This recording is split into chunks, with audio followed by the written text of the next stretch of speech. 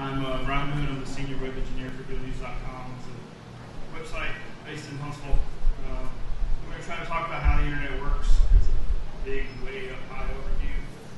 Uh, hopefully, it appeals to a lot of questions non-geeks may have. You know that when you open your web browser and you type in a web address, something happens on your computer, and you wait a few seconds, and something comes back, and you all of a sudden have something drawn on the screen.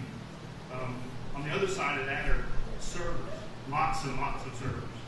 Um, just for that one little thing you do for my website could involve five or six servers. For Google, it could involve hundreds of servers in seven or eight different cities just to answer your one search.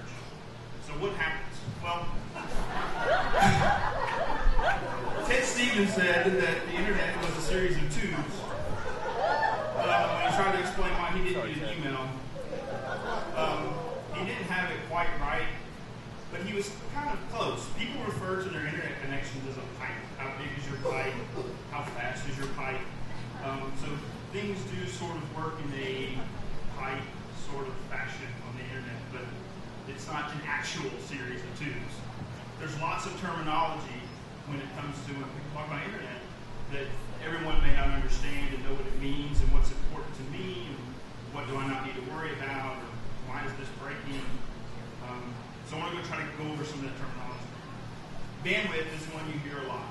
Uh, your ISP talks about how many megs you have, right? That's basically how much information can move across your internet connection at one time right? At one given moment, six megabits. Latency is how long it takes for that information to get from one point on the internet to another point on the internet. So when you hit enter or, or, or click,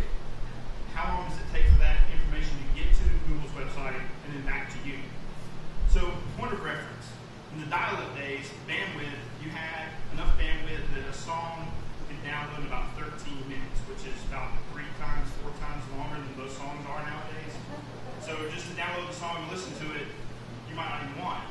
And in terms of latency, things would take more than 400 milliseconds, which is uh, about 0.4 seconds, to get from one end to the other, which does sounds really fast, but in terms of internet time, that is forever.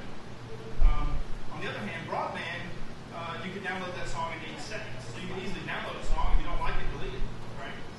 Um, what you have to be careful with is with bandwidth, with broadband, how much you can send up your pipe is much less than how much you can bring down your pipe. So that can cause problems if you're doing a lot of file uploads. Latency, on the other hand, with, with broadband is very, very, very, very fast. Um, this is most important for gaming. If you have kids that play Xbox, you know, and they're having trouble, it could be a latency issue. So how much bandwidth do you need?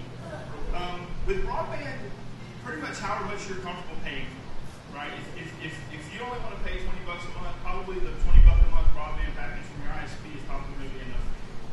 Um, if you think you need more, buy more. Uh, in reality, it's not all about you in terms of how fast things happen on the internet. Um, there's a whole lot of other things going on uh, outside of, of your house and your ISP that are out of your control that you have to worry about. Uh, one of those is, is DNS, which is sort of like the internet phone book.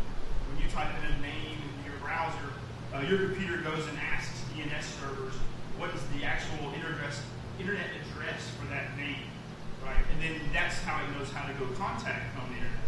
Another thing is routing. Your ISP then takes your traffic and routes it. And they send it to Atlanta, which then sends it to St. Louis, and then send it to San Francisco, all around all around the globe. Um, and sometimes this can be better for you, sometimes it can be bad because of peering agreements your ISP will have an agreement with four or five other companies they may send you the way it's cheapest for them, not the way it's fastest for you. So you may be having trouble when it's and it's not it's not in your control at all. So in summary, if you just do web and email, you can probably use the cheapest plan that your ISP provides. Uh, gamers are going to want low latency, and that's not really an option on the plan. You can have it or you don't. Um, upstream bandwidth can be an issue if a lot of people are uploading photos. You might not be able to do anything. Um, you can use speedtest.net to test your ISP's uh, bandwidth capacity to see if you get what you're paying for. I pay for six megabits uh, up, uh, down, and that's about what I'm getting. So um, I'm, I'm doing good with my ISP. A couple of troubleshooting tips. If your browser constantly says it's looking up something in the status bar, that's probably a DNS issue. It can't find the address for that thing. And if only some sites are slow and not, not answering, it's probably that site, not your ISP, not your